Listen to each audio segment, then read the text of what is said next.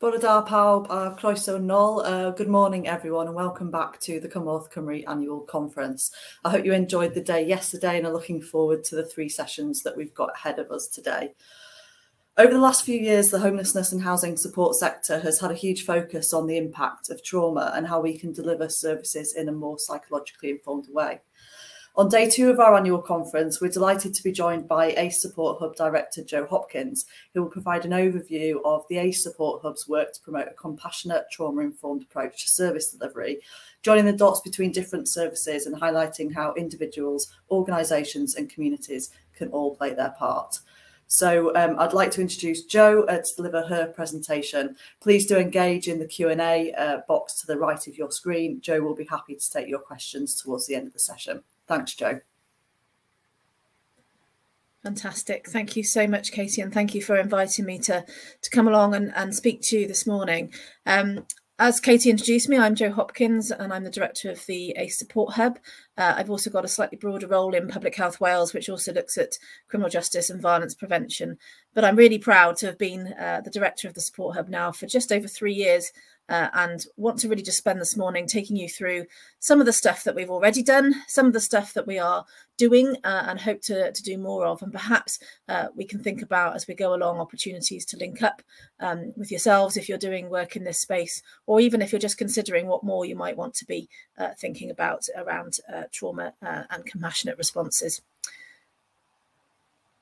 So what I uh, wanted to start with was really just the kind of thinking about what does a, a trauma-informed nation look like for Wales?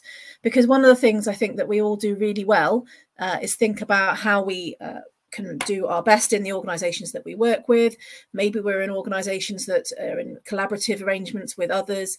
There's a real drive, I think, in Wales at the moment to be thinking about how we do co-production uh, but in a really meaningful way you know not the well we've just worked with these people and, and that's kind of like a gang of us together and that's ticked that box. But what does it really mean in order to to ensure that we've been inclusive in our approaches, uh, that we're thinking really hard about things like culture and things like, uh, you know, the difference that we make to people, the impact that can have and how we measure it. So all of these things, I think, are really fundamental to what we might end up calling uh, Wales a trauma-informed nation. And I'm really hopeful that uh, in the next three years, in the in the three years we've got whilst uh, this Parliament still sits, uh, is that we can get at least much further towards what a, that ambition might be. And that ambition for me is really thinking about everybody in Wales understanding um, what a trauma informed approach is and how we achieve it. So that's right from the, the societal level, the person on the street, the person in the community, me, my family, you know, what is we uh, as individuals uh, need to think about and do. And then through the layers of organisations, uh, systems, and then ultimately up to what Wales as a nation needs to consider. So no pressure, everyone. I think um, I think we're on a, a really long journey. It's not just three years. We're not certainly not going to crack it by then. But I would hope that we're going to be in a position where we can say at least we know with real clarity uh, where we're going and how we're going to evidence uh, that we have made a success of it. So that's the that's the idea. Um, so today I'm going to take you through some of the things I think that that we have done in partnership with others. It's certainly not all about the ACE Hub here, um, but some of the, the kind of activities, uh, the projects, the programs, uh, and the bits of work that we've done uh, with our, our colleagues and partners, just to give you a sense of, of the breadth really of, of where we've been working, but also to, as I said, to, to give that uh, a little bit of impetus around how can we do this better? How can we share the knowledge that we've been gaining and all the great stuff that I know many of you have been doing uh, and bring that together so that we can all uh, work towards this trauma informed nation and it doesn't just sit with designated kind of areas that may have had a, a bit of Welsh Government funding. So on that note, just very quickly for anyone who doesn't know, um, the ACE Support Hub was set up in 2017 uh, and it is funded by the Welsh Government, uh, particularly from the Children and Families Division, uh, although we have had additional funding over the years from uh, other parts of Welsh Government who've wanted to progress certain things in their policy areas. We're hosted in Public Health Wales, Uh, so that's where we provide uh, provided a home, which uh, obviously for the last two years has been uh, my bedroom. Um, but also uh, we were able then to, to kind of tap into some of the, the broader conversations around health and well-being and around the ambition for, for building a healthier Wales. So it's a real collaboration piece. And, and initially it was set up by Cymru Well Wales, which some of you may remember. If you don't, uh, don't worry too much. Um, but it's it's certainly been uh, something that that's kind of been at the forefront, I think, of of some of the, the thinking around what does uh, an ACE informed, so adverse childhood ex experiences uh, informed, and then trauma informed Wales look like. But we're not the only show in town. And I think one of the things that I really want to get across at the very beginning of, of this talk is that one of the things we've learned very quickly is that there is certainly more power uh, into, in doing things together. Um, and in terms of, of the sort of trauma-informed drive, if you want to call it that, there has been uh, some really big programs in Wales, some of which are, are still in existence and some of which um, are looking slightly different uh, at the moment. But, but what was uh, happening uh, maybe a couple of years ago is that we had three big areas of work that we're looking at uh, really pushing forward with what does um, an ACE-informed and trauma-informed uh, nation look like in Wales. So here you have uh, a slide that just shows that in a pictorial sense. At the top um, is the Early Action Together programme, which you may remember is the Police and Partners uh, multi-agency programme with uh, a large amount of funding from the Home Office, really looking to, to kind of transform policing and criminal justice, but working with uh, partners in Wales uh, so that program produced a huge amount of research. It also produced a, a lot of training materials working with Barnardo's, uh, but also a lot of thinking about how we might need to do this differently. And the outcome of that has been really a sense that although we talk a lot about uh, integrated public services and we talk a lot about, you know, we'd really like that 24 7, you know, no wrong door, access to the right service when people need it.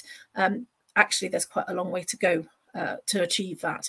But there are some real green shoots. There's some some really exciting stuff that, that's come out of that work um, that now needs to be located both in uh, the, the UK government and the Welsh government, because this working together, the bringing together of the devolved and the non-devolved, has highlighted not only the challenges which many of us uh, live day in, day out, but also those opportunities to, to overcome things by using the Welsh legislation, by thinking differently about how we take forward, um, as we do very well in Wales, you know, the, the kind of partnership endeavours uh, to overcome some of those challenges. So we've really been thinking and looking hard about what the learning is in that area that we can take forward, uh, both by the ACE Hub, but also by any other initiatives that are, that are striving forward in this area. But we all have the same sort of ambitions in terms of thinking about breaking that cycle of adversity that, that many families are facing. And that includes not only you know the sort of learnt behaviors that you might have in in the household in terms of what might be normalized for some people but also those structural elements of this. You know what is the what is the structural uh, inequality that, that communities in wales face uh, and how do we really kind of uh, overcome some of those huge barriers those societal barriers which really underpin uh, a lot of uh, the adversity that, that children will be facing in the household um, and then we're thinking also about thinking about violence and i'll come on to that in a second uh, but taking a public health approach to preventing violence and the prevention being the absolute key here. Prevention and early intervention, which was also a, a key work strand of the Early Action Together programme and is also a key work strand of the other criminal justice uh, programmes that we're involved with at the moment in the blueprints. So really thinking about what does it really mean to take a true preventative approach?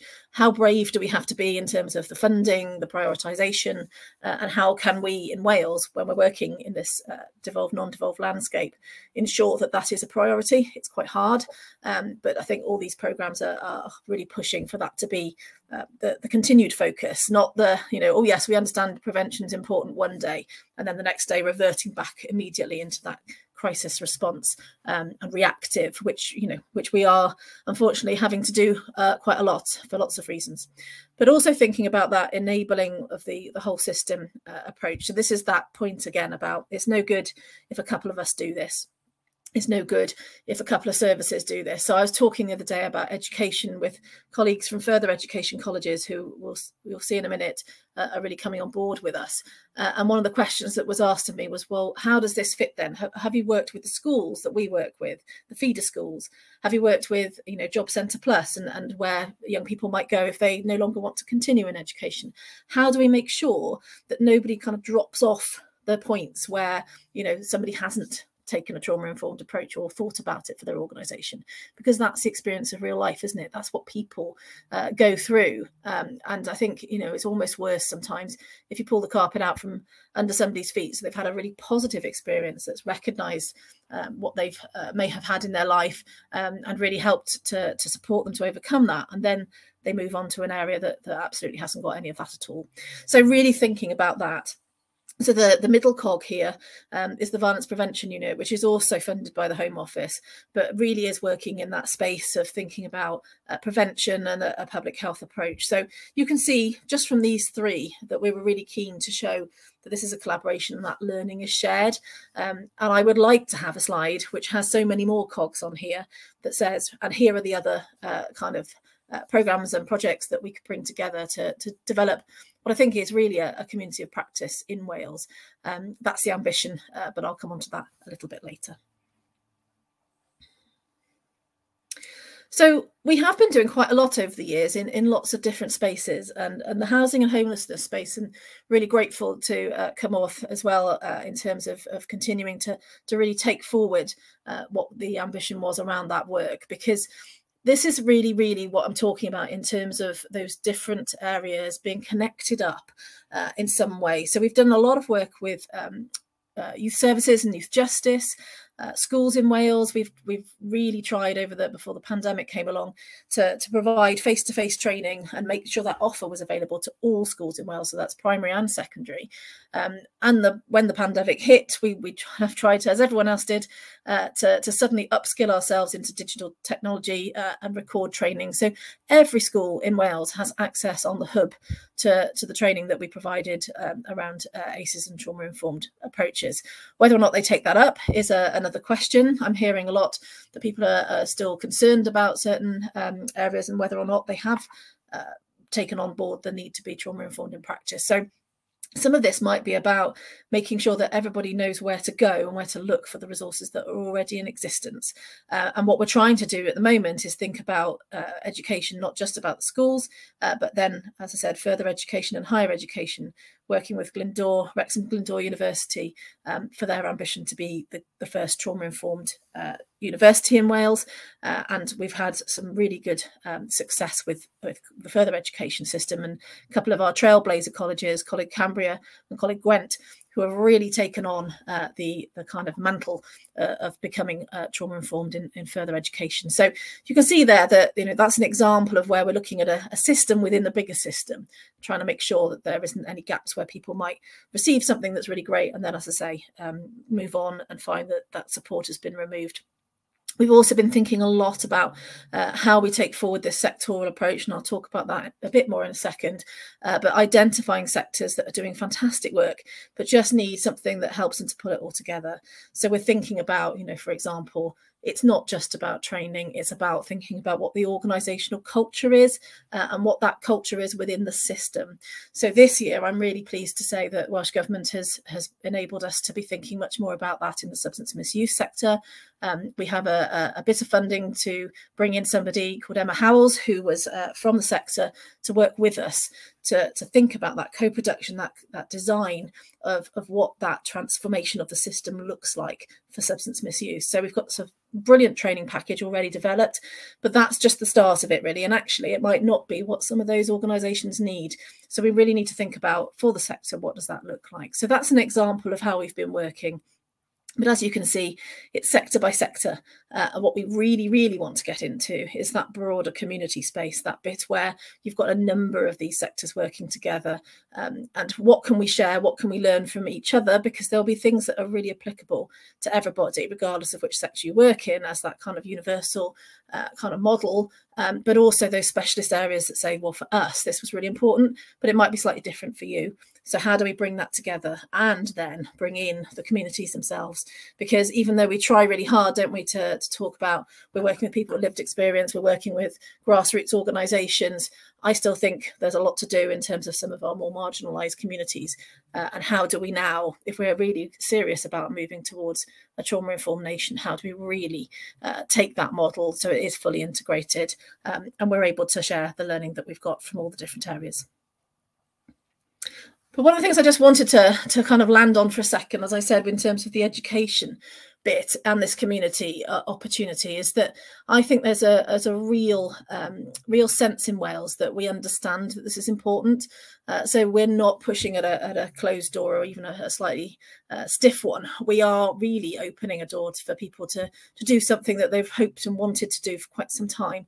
And uh, when you scratch the surface and when you have a look at and talk to individuals uh, within organisations, we often find there's some real shiny examples, wonderful things that are going on. Um, that if we could just tap into that and have a way of sharing that across uh, all of the work that we do, then I think we, we would be really heartened about um, what progress we're already making and, and, what this looks like. So I don't want to give the impression that there's this huge mountain to climb and we've all got all this work to do with all these sectors. The real ethos of what we do is thinking about, well, what have we already got here? What are people already doing? How can we build on that if needed and strengthen it? But actually, how do we celebrate where you, you can find individuals um, that are really, really making a difference and then make sure that practice is shared across Wales? So just to give you, I always talk about this um, because it was a real moment for me. A few years ago, I went to visit uh, a primary school in West Wales um, and it's called Clynarios. It's in Ceredigion. And they didn't know who I was. I'd just come for a visit because a friend of mine had said, you really need to go and have a look at this school because they're doing fantastic stuff. So in I went. Um, I just left the Home Office, so that caused a bit of confusion. Everyone uh, was wondering whether I'd be inspecting them for something. So there was a lot of uh, sort of looking in files and looking a bit nervous. But once we had a conversation and sat down, I said, I'm just here to, because I heard wonderful things about what you do. Uh, could you just talk to me about what that looks like? Um, and it turned out that, you know, that school had been working with the community, but working with parents, with, with the wider community that they lived in to overcome some of the challenges that they were facing in particularly deprived area of, of West Wales. Uh, and really thinking more about, you know, what does that, what does that trauma informed approach look like, but without actually using those words. And that's one of the things I think is really important that common language and common understanding also needs to understand that people are doing this already. They just might not be describing it in the same way. So the end of the visit, um, I, I, said, well, "This is fantastic. You know, you've, you've got all this wonderful stuff going on with very little money. I mean, they had a um, I think a sort of static caravan in the in the playground that they used as, as the the area for for supporting children that had particular needs, a sort of safe space for them to go and, and take some time out and things like that. But it was done on a budget of about 100 quid. But anyway, we we kind of got to the end of the the visit, and um, I said, "Well, this is fantastic. You know, what what what what is it that you think is the the key to this? The head teacher said, Brian Gibbons, he said, um, well, I think the key is really that you know we're a school that that's taken in loads of kids that have been excluded from everywhere else, but we haven't had one exclusion in 18 years. And it, was just a sentence at the end of the conversation, and I walked away from there thinking, my goodness, you know, these are things that we should know about. These are things that that should be somehow uh, sort of shared with the rest uh, of the world. Um, so that's what I do. So poor, poor Clynarios is is uh, have been talked about in North Macedonia and all sorts of places because it's that sort of an example that you know really humble, really modest, not telling everybody that they're doing it, but having that huge, huge impact on those children who had been excluded from everywhere else. So, in terms of how we're working, uh, one of the things that we we discovered quite early on was that there is a need really to have something that gives people a structure, a way of working through what does it mean to be informed about adverse childhood experiences? And what does it mean to be thinking about being trauma informed in practice? So we, we've developed, and it has taken some time, a set of resources that, that hopefully will help people to, to move through this process, but really kind of give the power to them. It's not prescribed, you know, it's not like, well, you must be doing this and you must hit this marker by this point. Um, it's really asking people to be reflective in their practice, to be thinking about what they've already done, as I've said, uh, and celebrating those successes, but at the same time, uh, doing that that assessment of, of where they are and most importantly that honesty around what does our culture look and feel like how does it feel to work in this organization are we trauma informed in terms of our workforce as well as the people that we're here to support. Because i hear a lot as well that, that people um, feel that they are trauma informed because they work with traumatized people. But are you trauma informed in terms of uh, do you understand the pressure on yourself or the uh, the impact on your colleagues of, of doing that day in day out? And how can we make sure that organization uh, is informed about that as well? Just as, a, as one example so we have a toolkit called the TrACE, TrACE Toolkit, and this has been underpinning our work with further education and will underpin our work with substance misuse but we also have a, a, a range of organisations that, that have agreed to work with us to pilot and test it at a, at a more organisational level. Um, so colleagues at Clwyd Alyn, for example, have been taking this forward uh, and, and really thinking about what does that question uh, actually mean in terms of our culture, the way that we work, our procedures, our policies? Do they get in the way? How can we overcome some of those uh, barriers that actually, you know, as a sector or, or perhaps uh, through through government policy and legislation, we've put in our own way? Um, and really kind of thinking understanding things like uh, procedures that we might have for discipline, for example, things like that. So it's it's really trying to get people to really think hard about their own organisations. And as I say, it's quite difficult because you know some of this is is having to be really honest about things that aren't working quite so well. Um, but but the idea being that in identifying those areas and identifying what we need to do, we then need to create something that says, well, where where can we look to find some inspiration uh, for that? So is there someone who has already tried this and, and found a way to, to to make it work? It will not be a one size fits all. We can't just go, oh, look, we can go over there then and, and potentially buy this thing in and, and that will solve it. Because I think part of the problem, and I, I often talk about consultants called Dave, and apology to any consultants on the call who are called Dave. I'm, I'm not sort of generalizing this, but they pop up, don't they, and say, well, we've identified that there might be a gap in the market and we can sell you this. And some of it might be great, others of it we don't know whether or not it makes any difference or not. But the point is by doing this process and this is you know this is free this is available on our website uh, at least we have a sense of what is it we need. Where where might we uh, look to enhance what we're doing? Where might we, we be able to celebrate and share with others the, the successful approaches we've taken and how do we then uh, create this community of practice or, or, movement or whatever? And it might be networks and i know that there are a number of networks that perhaps we could join up um, and really kind of make more powerful in the sense of, of that additional information and learning. But how do we how do we do that? So this is about uh, growing an approach uh, at, a, at, an organizational level, at a sector level, as I said, um, testing with higher and further education and, and, substance misuse, but also then leading to what I'll talk about in a bit later, uh, that national uh, framework for how we operationalize that, that uh, uh, real understanding of, of what a, a trauma-informed approach is. So one of the, the key areas that, that we started with is really saying, and I've, spoken briefly about the that that kind of common language point. Are we all understanding what we mean um, by taking a trauma informed approach? Um, as you'll see later, we've done a bit of work that basically has identified that that no, we don't. Um, so one of the things that that Glyndŵr University has done uh, from the outset really is to think about that in terms of their approach to becoming a trauma informed uh, university. And, and, they really wanted to, to be really clear for their students their staff for their community what it is we're talking about. So they've developed a lovely animation. Now this animation was was put together um, as part of a students work. So it was a competition to design the actual animation itself uh, and then a, a wonderful um, PhD student at, at, the university called Tegan Briley Solis uh, put together the the kind of the, the, the narrative that goes with this. So some of you may have seen it, but I think it's just important to show it again so that you get a sense of this is what we are talking about when we talk about trauma uh, at a, in this more kind of universal space, and this is what we want people to understand by it. If you could play the video, please.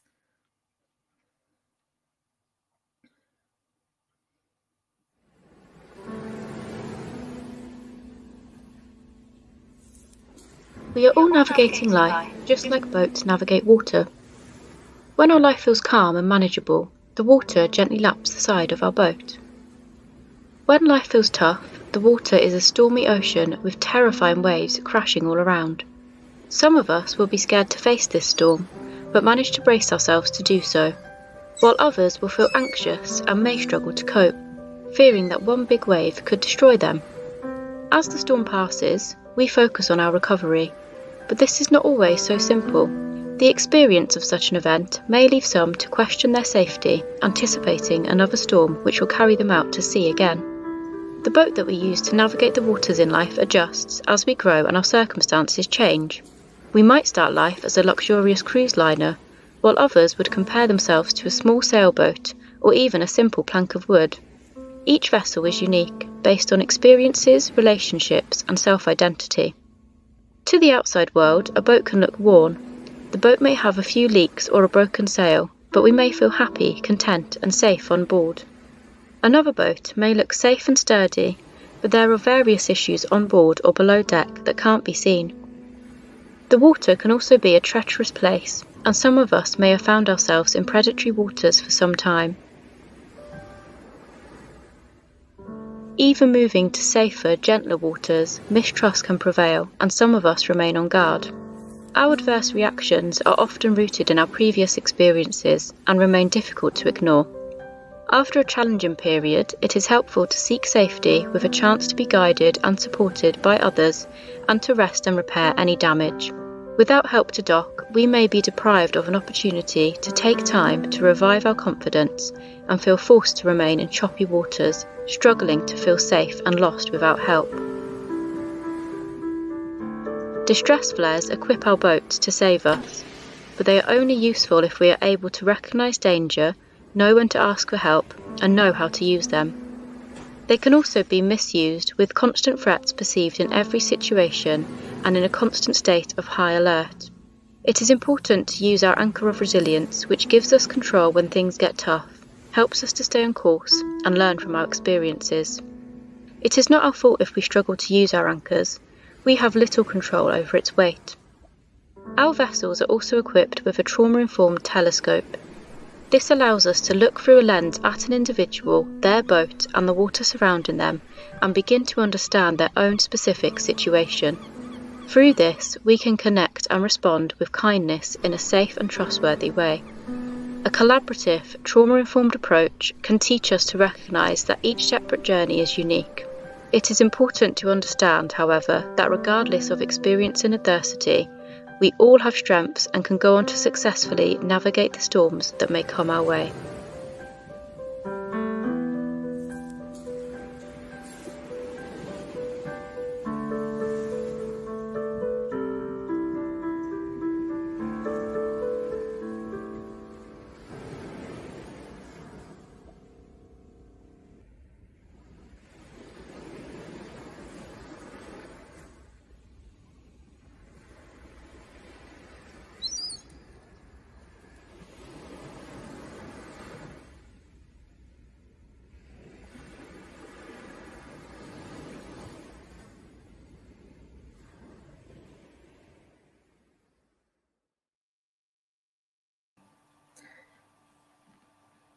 Fantastic, thank you. Um, so I think you'll see from there that there is a, a real kind of sense, isn't there, of, of, of, getting a common understanding about what it is that we are uh, trying to get across, but but for, for young people, this is developed by young people, um, but also for, for, for individuals, for organisations, for systems. So that's available for anyone to use uh, in terms of, of perhaps you know setting the scene or, or working uh, with people just to get that common understanding. So it's a resource available to, to, to anyone. So one of the things that that we were thinking about uh, and working with Wrexham Glyndŵr University to really try and develop in North Wales is this sense of what does it mean to move from that sectoral approach and, and into much more of that community space. So thinking about what our communities are how do we define that? You know some for some people that might be just the area in which they live the village in which they live the town in which they live for others it's a real uh, kind of bringing together of public private services society third sector communities themselves and individuals. Uh, so we really need to think about how people understand that concept of, of, community. But one of the things that we're really keen to, to try and uh, move towards uh, is thinking in terms of that longer term ambition of a TrACE informed Wales, but looking at the the kind of real uh, tenets behind what it is that we we want to achieve. And one of the the key quotes that we picked up from from the resilience film, as it's known in shorthand, the the biology of stress and science of hope, is that if you put the knowledge of adverse childhood experiences and trauma into the hands of the public, and they will create very wise decisions. This is not about us imposing uh, a view of the world. This is about saying let's work together to think about how we can uh, build on kindness, compassion recognizing what's already happening out there uh, and engaging with people in a language that they understand. So not not necessarily coming in and introducing jargon and, and things like that but what are you doing and how do you describe it uh, and those assets that are, are, are, already there? Thinking really carefully about what community means uh, how we define it and what people understand by that and, and really thinking as well about that that word resilience which i know is a bit problematic but i think in terms of, of in the in the position we're in where we cannot say uh, well, I certainly can't, that we are going to be able to prevent these things from happening in every case. And particularly when we come on in a minute to talk about uh, trauma as a result of conflict, we certainly can't at the moment. So, what is it that we can do to, to help people to, to overcome what they have already experienced? And then thinking about that at, at scale uh, in terms of a, a national response. But we've got to start somewhere. So, one of the things I think you might be familiar with, but it's worth showing again, is our Time to Be Kind campaign. So, we've done this twice once uh, you know a couple of years ago where we really just wanted to get this message about everyone can do something in this space. If it's just a, a, you know a moment of kindness a moment where you can be that person that that changes someone's day for the better um, that is really important. And and you know having that that kindness compassion empathetic approach where we can uh, is something that we can all do. Um, and it's really part of that trauma aware level of, of thinking in terms of this universal approach. So during the pandemic, of course, we we all became uh, uh, distanced from from perhaps the usual connections that we might have. So we slightly changed the campaign to reflect that. Um, it's a little bit bumpy. This one, it, it was done as we all were uh, in behind closed doors. Even putting the the campaign together was was really quite tricky. But the idea is to say that the the power and importance of that continued connection, however that is done, you know, in a digital form, if we can't do it in, in person, is so, so important. We mustn't forget that, you know, when we're talking about cultures and structures and systems and organizations, underpinning that is the simple human kindness that we that we are all capable um, of, of expressing. So if we just play this one, please. Thank you.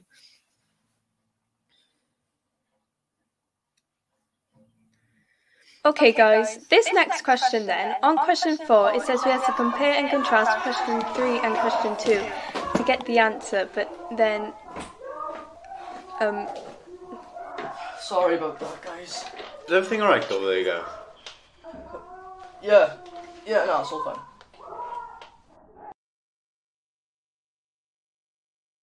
Right, we'll finish the rest tomorrow then, okay?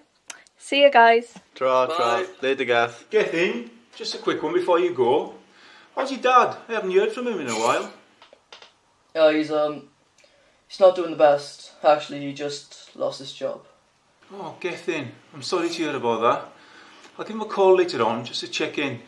Remember, if you want to talk about anything, me and James are here, okay?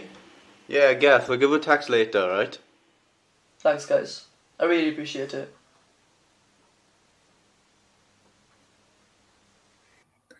I also get a, a, still get quite emotional about that actually because it's it was really trying to get across a lot of messages all in one in one go. One was not to try and uh, place the responsibility for for whatever was going on in the household where the shouting was happening on the other children to sort out.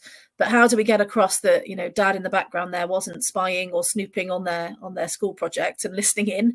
Um, but also giving that sense that you know we are all in our own houses and and we mustn't forget that there are people struggling and and to just make that connection essentially. So um, there was a lot going on in it but I, I do feel that that really kind of represents what we what we stand for uh, actually in terms of that that societal approach. It's the, really the ethos of it, of, of staying connected, you know, being kind and, and having that, you know, noticing uh, that somebody might not uh, be having a, a, the best day, and how do we how do we do something to to support that? But one of the things when we've been thinking about, you know, what does it mean to be a trauma-informed nation, is is getting an understanding of of a what does that mean as a phrase, but b like I said before, what has actually been going on in Wales um, in terms of of the the fantastic work that we know is happening in big programs, big projects, but also in in much more sort of um, localized, more grassroots uh, organisations that that probably have been working in this way for a very long time. But as I say, unless you unless you have a conversation and connect with them, you might not know. So before we uh, embarked on the thing I'm going to talk about in a second, one of the key uh, areas that I thought was really important, and so did um, Wrexham Glyndŵr University as they embarked on their work to become trauma informed university, was to really get handle on what do we mean by that phrase. So uh, you'll be very unsurprised, I'm sure, to, to find the, the, the work didn't identify uh, a common definition. There's some really good ones out there. Most people use the SAMHSA definition in terms of trauma informed practice. Um, we've seen that you know being uh, used across the UK. But actually, what what does it what does it mean, and what are the other things? Does it include everything that we would like to see? Um, so we did a piece of work uh, with Wrexham Glyndŵr University just to do a, a, literature review, effectively, of, of the key language and the terminology that's been used. Um, so as I say, it, it came out with uh, no common uh, definition, but also some really interesting and challenging uh, descriptions and different ways of, of talking about how we are uh, either trauma aware, informed, sensitive. You know, there's lots of different uh, ways of describing the different levels of practice. So that was really helpful to, to kind of get a sense of what's there and what's not there in order to shape what we might be thinking about in terms of, of the Welsh uh, kind of position on that. The second piece of work, and these are all available on our website, um, was to look at uh, how this is being taken forward in Wales by, by more significant projects and programmes. So again, this was done uh, during lockdown, so it was quite hard to, to kind of do that sort of uh, quantitative data where you go out and actually speak to people. Um, but we we kind of picked up on those uh, pieces of work that are in the public domain where there are things that, that have been quite uh, upfront about being trauma informed or trying to be. Uh, so had a look around what are the different practices, what are the different approaches being taken in Wales, uh, what's the terminology again, how is that being used? And again, we see quite a lot of divergence in that um, which was really helpful to understand what are those different forms of language being used to describe what people think they're doing, but also some commonality, so some consensus areas in terms of everybody thought that this was a really important concept. So those two pieces together have been really helpful in shaping our understanding not only of, of what the terminology looks like, but also how it's being uh, operationally deployed in Wales. And, and I'm sure many of you who were uh, operating in this space uh, would have taken part in in that second one. So th thank you for for doing so because it's been a really really important piece of work. And then the third, of course, has been the animation to try and uh, bring this all to life. So one of the things that was really really kind of critical, I guess, uh, and it became more critical um, towards the end of last year, is this understanding about uh, we seem to have taken a bit of a leap. We seem to have gone from, right, we all kind of know what ACEs are now. Uh, so we, we feel that we're informed, but what are we going to do about it? Um, so the so what question. And I felt that we'd taken a bit of a leap to go, okay, so the so what is we're going to be trauma informed. Uh, and that's great. But what does that actually mean? Uh, and if we are going to say that that is our response, then how do we understand that we're doing it in the same way? So the same challenges that, that kind of presented themselves right at the beginning of this journey. And then we also thought about some of the tensions that have been bubbling under, I guess, um, across the UK and probably wider than that around how does this fit with a medical model? How does this fit when you know we're talking many of us in a universal space where we're not professionals in health? Um, i'm certainly not. I'm a, I'm a policy person through and through. Um, but you know what what is it uh, where is that crossover? Where is that bridge where we kind of get to the bit where people might need something much more specialist than than what we can provide? Uh, may need uh, medical interventions may need spe specific therapies. How does that fit in a framework or a landscape um, where we can really identify what those things are and when people uh, might be able to access and how they might be able to access them. Uh, and so bumping into traumatic stress Wales quite a lot on our journey made us realise that there's more to do in this area. Um, and the Welsh Government review of ACEs uh, in 2021 also identified that although we seem to be now in a better position in terms of understanding ACEs, we're not so great in terms of uh, thinking about what does that mean in practice. So that's where our focus of effort has been. But really thinking about communities, really thinking about uh, where we need to, to, to, to, kind of understand more um, to bring that clarity of language and that common purpose. So that's what the trauma uh, practice framework is about, which is currently uh, out for public consultation. Um, I'm going to very quickly take you through the kind of key aspects of that because I'm really keen that people actually go and look at it. Uh, you've got time to respond. It doesn't close until the 17th of June. And we're doing a number of, of workshops that enable people to do that in person or, or via a webinar. But just thinking about, you know, this is the definition that's in that framework. This is the definition that we're trying to make as inclusive, as broad as possible, which also makes it quite big. Um, but really thinking about, you know, that that that elements that are really key for us that are not we don't think uh, clear enough for Wales. So recognising that everyone has that role, but also where a person, organisation, service or system has to take account of that impact of adversity and trauma and understand those ways of preventing, healing and overcoming this, in, including our support services and our communities in which they might be embedded. So it's also where people recognise signs and symptoms, and it's also about acknowledging uh, the effects um, that trauma may have and how that's integrated into policies and procedures. So the, the key here is to do no harm and to, to really resist uh, the, the re-traumatization that can happen uh, as people uh, attempt to access services or to prevent and mitigate the sort of consequences um, that, that may occur. So that's what our that's what our definition is trying to do. We've also set out uh, on page eight of the uh, framework document five practice principles that under, underpin this. So, really clear that we are taking that universal approach of doing no harm uh, and bringing in those community approaches, but also making sure we're still person centered. So, we're looking at you know that being the center of the approach and that co productive, collaborative, uh, cross sector uh, piece of work that, that includes that promotion of physical, physical psychological and physical safety uh, and the other elements that, that you'll be familiar with thinking about how inclusive we can be so really getting into what are the sorts of uh, impacts of things like uh, working with our diverse communities and the discrimination and racism they may have uh, may have experienced. Thinking about those cultural historic and gender inequalities and being inclusive of, of everyone. And i think that's really important because i personally don't feel that i've done that well enough. Um, and we need to really kind of get a, a better engagement uh, with people who have had those experiences and to be able to understand what they need and how we can how we can use this framework to bring that about thinking again about relationship focused thinking all, all the way through about this being strength focused so you know this isn't about uh, blaming anyone or, or, deficits or anything like that. This is about recognizing where people, organizations, and systems have strength uh, and building on that. So these are the principles that underpin uh, the approach. And then we have a model uh, and practice levels that, that we are hoping that, that people will recognise, um, which take us through from that more universal trauma aware uh, kind of uh, bit, which you know that's the bit we were talking about with the the clip of, of the young people talking, um, and the Time to Be Kind campaign, right through to those real specialist interventions um, that may be needed in a much smaller number of cases, um, but you know are still an important part of, of the overall trauma informed approach. And what's different about this is that we are saying that trauma informed is the is the is the kind of environment in which these practice levels operate it's not a separate level of its own. Um, so, as I say, really interested in what people uh, think about that.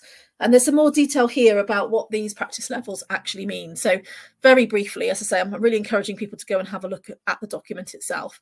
But the trauma aware level is that universal approach. So, it's about Welsh society, it's about raising awareness and understanding, challenging those social norms that, that underpin this and maintain that uh, oppression and inequality, um, but also thinking about communities and the role that, that we all play in terms of the responses to, to adverse child experiences and trauma.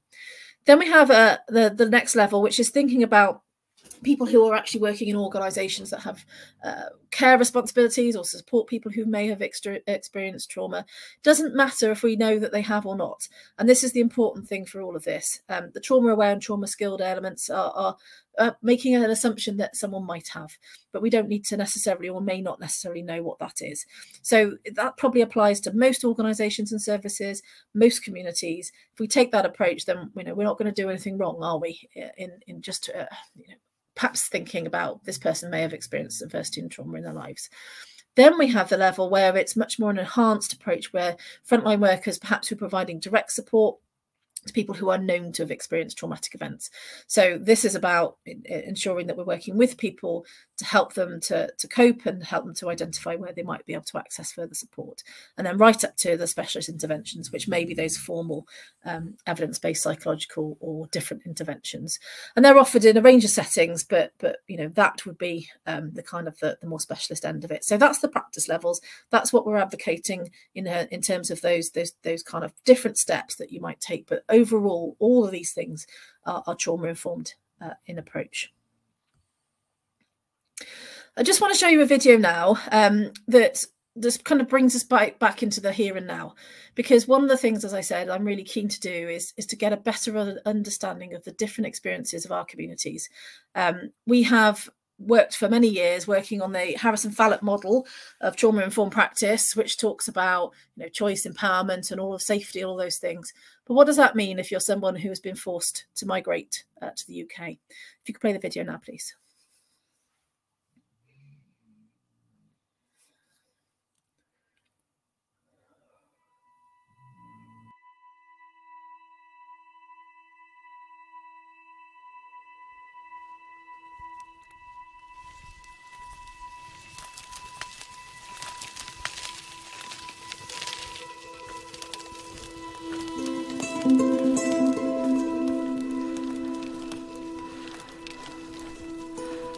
اینقدر میترسیدم از همه چی. آمدیم در کوها تا زانوی ما پایای ما یخ زده بود. اصلا نمی‌تونستم را برو نفسم بالا نمی اومد فکر می‌کردم همینجا مومرو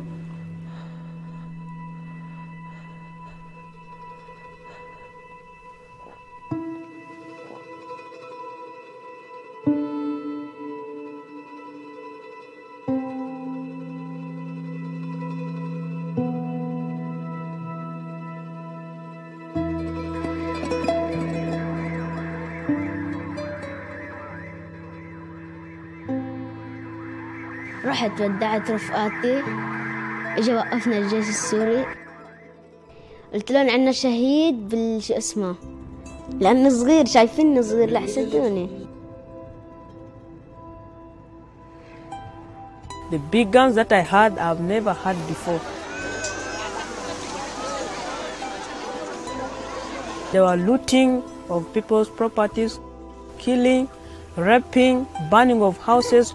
All this I witnessed with my eyes.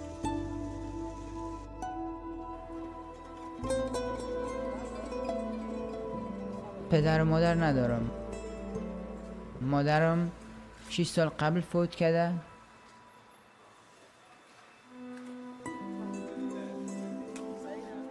اندازه یک آدم 25 26 ساله کار می‌کنه. به خوابم هم همچین چیزا رو فکر نمی‌کردم که همچین چیزا و همچین اتفاقا پیش میفته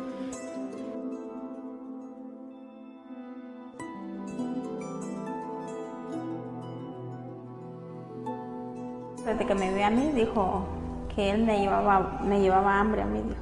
Me- a esta chinita le vola del ojo, dijo. Y cuando me quedé adentro venía él con otro muchacho y incluso los dos abusaron de mí.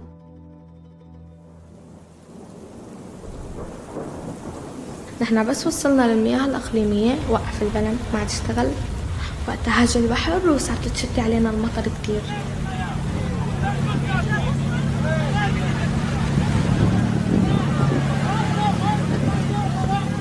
متغيرة كتير كتير كتير. ما بثق بحدا. إنه كيف يعني الواحد إنه أول شي الغربة بتأسي القلب. الغربة بتأسي القلب. كب كبنيرون زقات من اشجر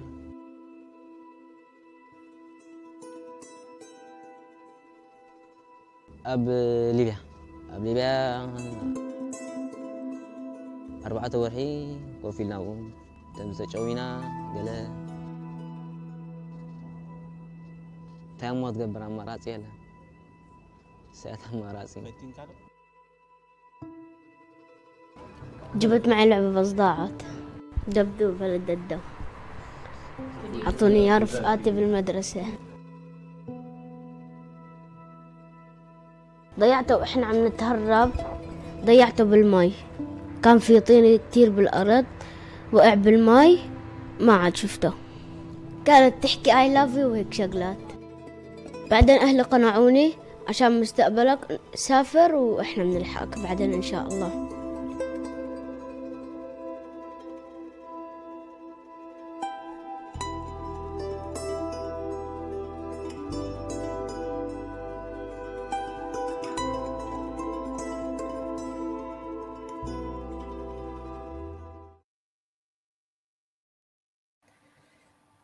So I think the point of, of just showing that to you, um, I'm sorry I didn't kind of uh, warn some people in advance that it's quite a difficult watch, but um, I think the point is that there are different experiences of adversity and trauma in all of, all of our societies. Some people uh, may have one experience and that might be the thing that, that really is very difficult for them to overcome and maybe really impacted by that.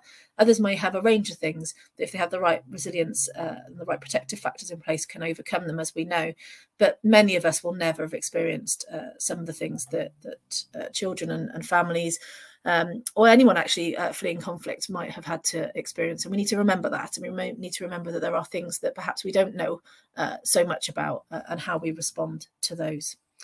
Um, so just very quickly, uh, on that note, this has been an area of work that we are uh, focusing on at the moment and thinking about what resources are in place for people who are experiencing perhaps adversity in the home, uh, adversity uh, when they have arrived in the UK um, that don't speak English as a first language or Welsh, uh, and how can we make sure that they have support for health and well-being? So where are the sorts of services they can access, and what are the sorts of things that they can do uh, to to kind of help them uh, overcome uh, immediate kind of support needs as well as that longer term.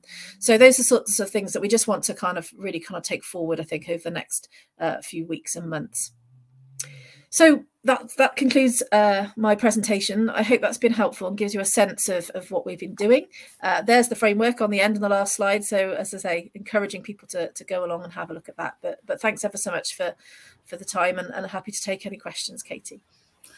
Thank you so much, Jo. That was um, that was fantastic and covered so many areas during that presentation. So um, yeah, really, really appreciate um, the time and expertise that you've given up today. And I think that last video um, and the last topic you were talking about um, ties in really nicely with one of our sessions later on, which is titled Nation of Sanctuary, Welcoming and Housing Refugees in Wales. So a real opportunity to hear about some of the really positive things that have been going on in the housing sector over the past few years um, and a call to action really about what organisations at this conference could do moving forward as, as we see, um, you know, some of the refugees from the Ukrainian war coming in as well.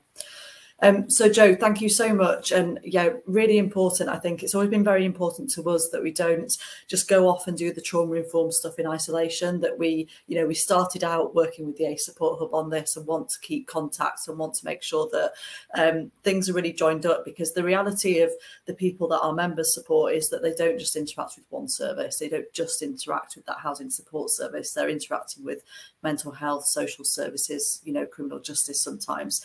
Um, and I guess one of the things that people have struggled with in the past is that, you know, some sectors and some services have embraced the trauma informed approach and have tried to embed that, and others haven't.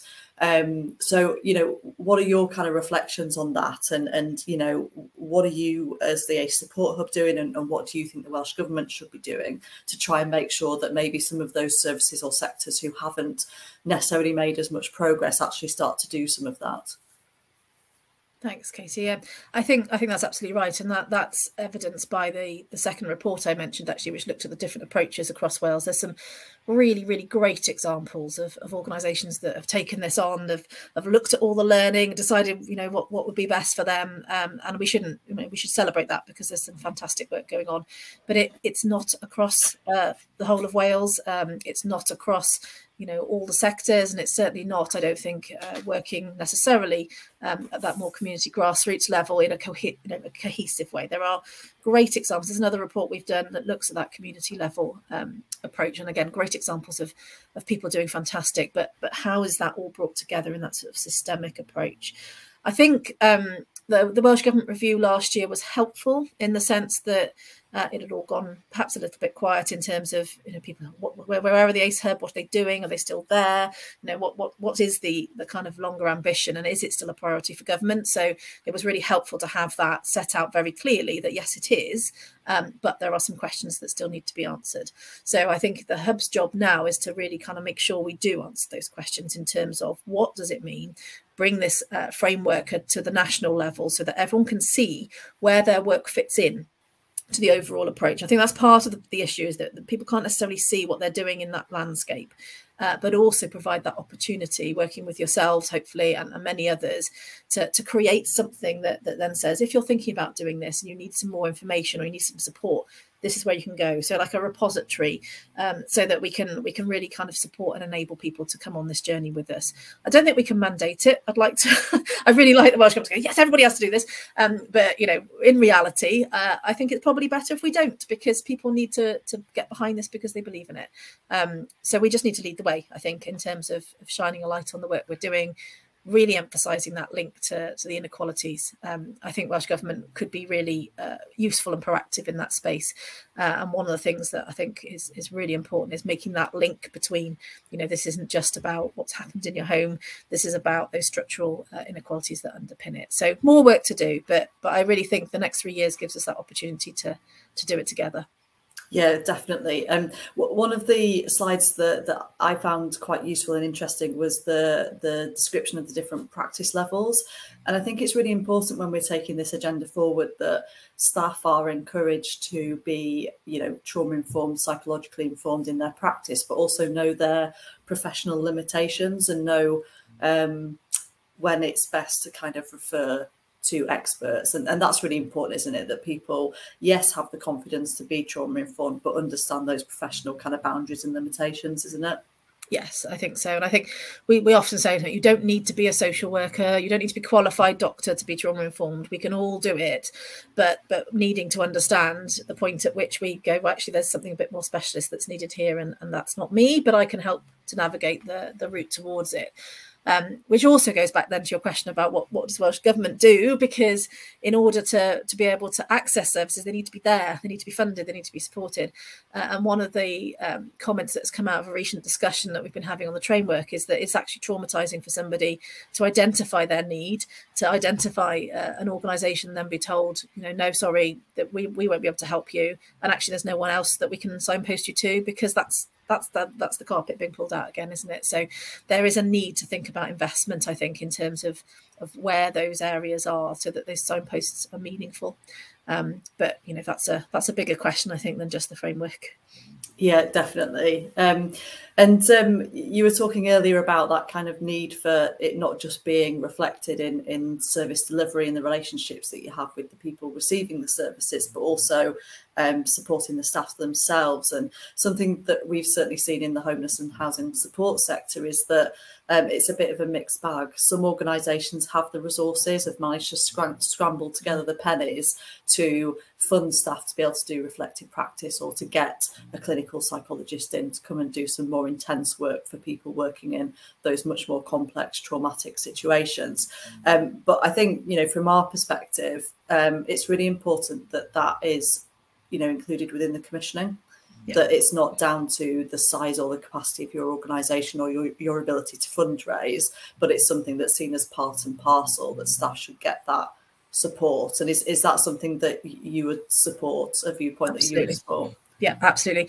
Commissioning and also recruitment uh, practices, I think, is the other area that, that we've been thinking about. So, particularly with the work uh, that we've been doing with the police, there was a, report that really highlighted the benefit of of being really clear um, in terms of what you what you expect and what you want, not just from from the, the, the services you offer, but those that are, are providing those services for you, uh, and in respect of, of, of, staff themselves and their welfare, because you see less sickness absence, you see the positive benefits of of that um, uh, for people who really want to work and, and want to be uh, doing their roles, but are just finding it too difficult to, to manage their own personal uh, spaces. But the recruitment aspect, I think, is really important. If you're bringing people into an organisation that you want to work in a trauma informed way, then make that explicit in who you're trying to attract to the role. Because there's no point in, you know, if you're if you're in a sort of a, an enforcement role and you want to work in that way, just recruiting people that can, you know, bash down doors. You really need to think about what other skills do, do people bring, and I'd like to see more effort placed on on some of that as well. Fantastic. And I think we've got a real opportunity. We've got a task and finish group looking at workforce in the homelessness and housing support sector at the moment. And um, we've got a, a, subgroup to that task and finish group looking specifically at, you know, support for staff and being psychologically informed. So I think there's real opportunities to kind of set out our stall nationally about what we expect. Um, and, and finally, just before um, we finish the session, I guess we've probably got quite a lot of uh, senior managers and leaders in the audience today. And I guess uh, going back to that point about it not just being service delivery, but it being a whole organisational culture um, from everything from your service provision to how you do your HR to, how, you know, and what would your message be to some of those sort of leaders and managers in the room who are who are thinking, God, this seems massive, um, but you know, what would your message be to them in terms of taking forward this agenda across their whole organisation and culture? I think that that leadership point is is crucial, and we know from the the work that we did with housing and homelessness, and the and the work that you continue to do with the, the path and everything else, is that that it's this is about everybody. Um, so it's top down, bottom up, everybody in between, and everybody around. Uh, but without that leadership, without that continued drive um, from the the kind of execs or whoever is, is responsible at the top, then then it can kind of wither on the vine. Uh, and so what we need is that continued commitment. Um, and I think by coming and experiencing some of the the things that that we've been doing so working with us bringing in the voices uh, of, of, you know, let's use further uh, education as example, bringing the learners, what, what are their experiences? What would they like to see different? And having those senior people hear that and understand that, engage in those conversations. So it's not just about doing the course, it's about coming, bringing people together, perhaps in a way that you haven't done before, but really demonstrating uh, that commitment uh, and that you know, through dispersed leadership as well, and giving people empowering roles to, to take this forward, I think is, is the key to this, which you've done very well in housing. So there's a there's a model to look at uh, from the start. Well, we're, we're trying our best, and I think, excuse me, still so much more to do. But I think a sector that's really committed to this agenda and really recognises it, and I think a lot of people working in the sector who have come from you know lived experience and, and understand the impact of that as well, and, and want to play their part in you know, making things different for other people in the future. Um, thank you, Jo. That was a fantastic session. It's always really good to hear about what the ACE Support Hub is doing. And I think sometimes, you know, you can look really, you know, inwardly in your own sector. And I think it's really important that we understand what else is going on um, across Wales, across different sectors, and continue to be part of that conversation and make sure that we're all heading in the right direction. So thank you so much for your, your time and your expertise uh, this morning. Um, to everyone else, we're going to take um, a bit of a break now, um, but we hope to see you back at 12 o'clock where we're going to be hearing from the National Lottery Community Fund um, and several of our members who've been successful in, in gaining, um, I think, around £8 million of funding to deliver new projects to help end homelessness over the next few years and some really, really interesting elements to the three projects that we're going to be featuring and an important also um, extra funding that's available for rural homelessness um, and bidding is open now. So please do come along and, and hear about that. And then as I mentioned, mentioned earlier, at two o'clock, we'll be having our Nation of Sanctuary session. We'll be hearing from Housing Justice Cymru, um, Taff Housing and EYST about some of the brilliant work they've been doing with refugees and asylum seekers um, and what we can all do uh, moving forward to help with that agenda. So I hope you enjoyed that session this morning. Thanks again to Jo, and we'll see you all hopefully at 12 o'clock. Diolch fawr. Thank you.